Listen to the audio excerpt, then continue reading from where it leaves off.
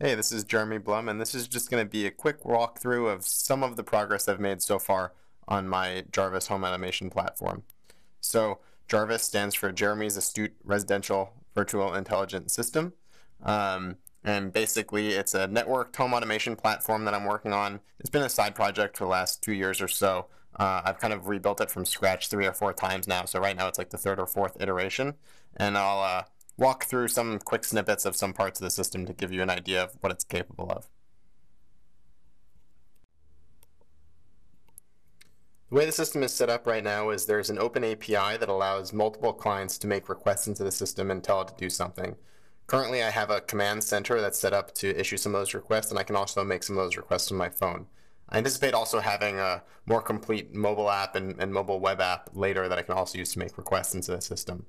But so one of the first examples of what I can do is if I go into my room here um, and I have my phone, I can just give my phone a quick shake and it'll turn the lights on. And that's basically my phone sending a request to the system to turn on the lights. The command center is over here on my nightstand and you can see that everything is synced up in real time. So this left dial uh, indicates the current brightness of the lights and you can see that it's synced together. So if I turn the lights off here, the dial goes down over there as well.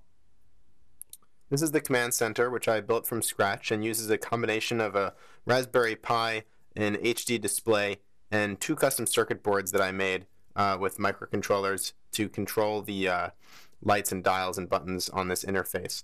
It also includes a passive infrared sensor. It uses that to detect if someone's in the room or not. If someone's been out of the room for a long period of time, it'll automatically turn the screen off uh, to save power and reduce burn-in. It also has temperature and humidity sensing for the room, as well as a gesture sensor that can sense gross gestures for doing things like silencing the alarm clock.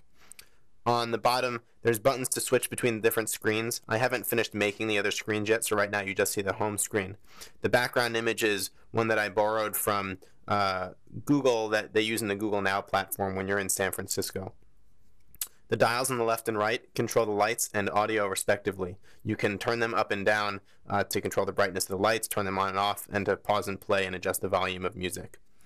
The button in the middle is used for issuing a voice command to the, to the system. Whenever you're holding it down, it's listening to you and can understand natural language requests for doing various things like controlling the alarm clock, opening and closing the blinds, changing the lights, playing music, etc. As I mentioned, you can issue natural language requests to the system to do all kinds of things. I won't go through all of them, but I'll show a few examples. For example, let's say I want to control the blinds over here. I have a mechanism connected to my blinds. Basically, I have a servo motor with a big gear in the middle, and then two linear uh, rack and pinion set up, basically, uh, that pulls the strings up and down to open and close the blinds. Uh, this is partially using the alarm clock functionality of the system. When it wakes me up in the morning, it'll open the blinds, but I can also uh, issue a voice request to do it. Please open the blinds.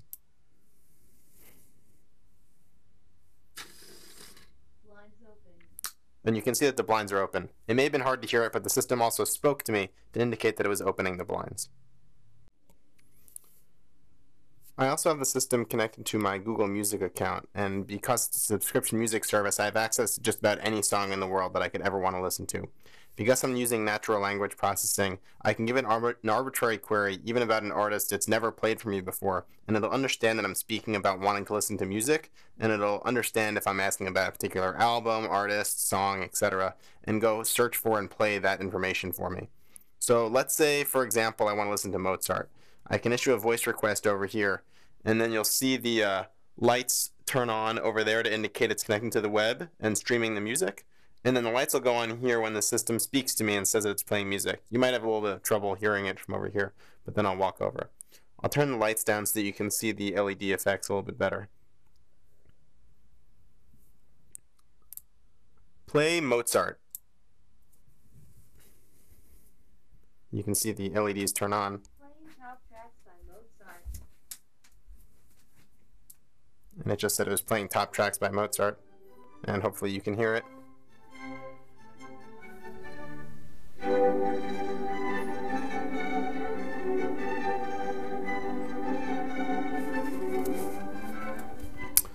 So in addition to uh, making queries by voice, I can also control the music um, with the dial and buttons over here directly. So if I want to pause it, for example, I can just give this a click.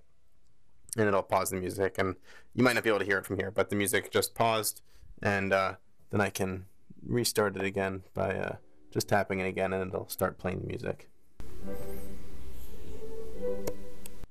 Another useful example of a query I can do with the system is for the weather. Let's say I'm planning to make a trip to New York tomorrow. How's the weather in New York City tomorrow?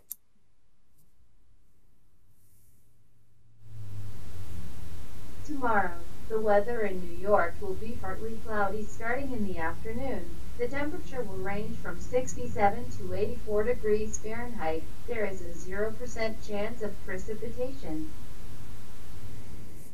Jarvis can also understand and answer general knowledge questions. For example, what is the Wall Street Journal newspaper? The Wall Street Journal is a New York-based English-language international daily newspaper with a special emphasis on business and economic news. It's easy to put the system into a sleep state when you're ready to go to bed as well. For example, right now I have the lights on and the blinds open, but I'm ready to go to sleep. I could also be playing the music and be able to turn that off too. Good night, Jarvis. Good night. The blinds close, the lights turn off, the system says goodnight, and the screen turns off so it doesn't keep me awake while I'm sleeping. Once I'm ready to get up in the morning, the screen will either turn on with the alarm clock automatically, or I can just tap the button, the screen will come back on, and the lights will come back up. So in addition to the main components that I just showed you, there's a few other key parts of the system.